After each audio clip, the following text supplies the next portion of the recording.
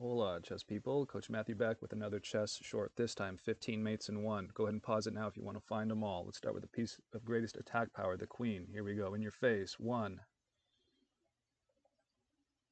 Two. Queen e8 is going to be three. Rook time. A lot of discoveries.